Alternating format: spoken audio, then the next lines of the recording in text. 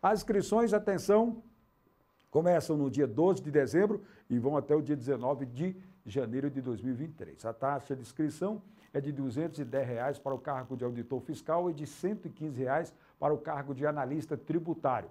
O edital pode ser consultado no site da Fundação Getúlio Vargas, que é o conhecido, que é o conhecido é, é porque aqui está comendo uma letra que eu estou lendo essa parte aqui. Conhecimento. Ponto. Ponto F.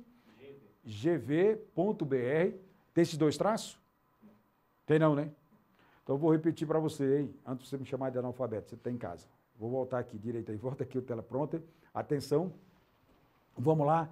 Você quer ter mais informações? Nós estamos ao vivo, ao vivo é assim mesmo, não tem como voltar mais não, já foi. Conhecimento, ponto, fgv.br.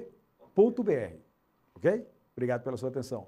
Mais informações sobre o concurso público para a Receita Federal podem ser obtidas pelo telefone, anota aí, 0800 28 34 628. Vou repetir de novo, 0800 28 34 628. As provas estão previstas para 19 de março de 2023 em todas as capitais do país. Aí é um concurso de responsa, hein?